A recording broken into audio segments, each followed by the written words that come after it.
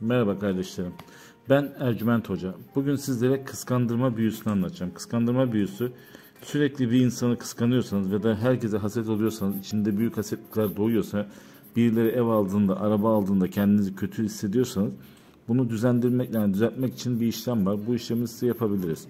Bunun için nokta nokta koyduğum yerlere adınızı, doğum tarihinizi ve anne isminizi yazıyorsunuz.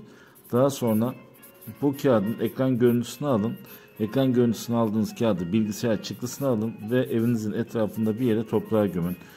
Bu işlem 20 gün içinde etkisini gösterecektir ama bunu yapmadan önce Ercüment Hocam Instagram kanalından bana ulaşın.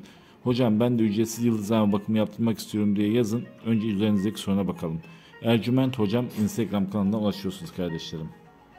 Merhaba kardeşlerim. Ben Ercüment Hoca. Bugün sizlere üzerinizde büyü, muska ya da olumsuz bir şey varsa bunları kaldırmak için yapılması gereken işlemleri anlatacağım.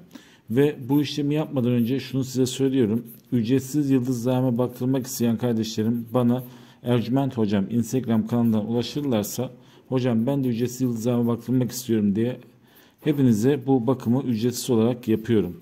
Bu bakımda ne görüyoruz? Üzerinizde büyü muska var mı? Giden kişinin neyden gitti? Hayatınızdan giden kişinin tekrar geri gelebilir mi? Gelemez mi? Bunlara bakıyoruz. Dedim ki bu işlemi yaptırmak için bana Instagram'dan Ercüment Hocam kanalından ulaşabilirsiniz. Nokta nokta koyduğum yerlere adınızı, doğum tarihinizi ve anne isminizi yazın. Daha sonra bu kağıdı bilgisayar çıktısı olarak alın. Aldığınız bu kağıdı evin etrafında herhangi bir yere toprağa görmeyin. Üzerinizdeki büyü, muska, musallat her şey kalkacaktır.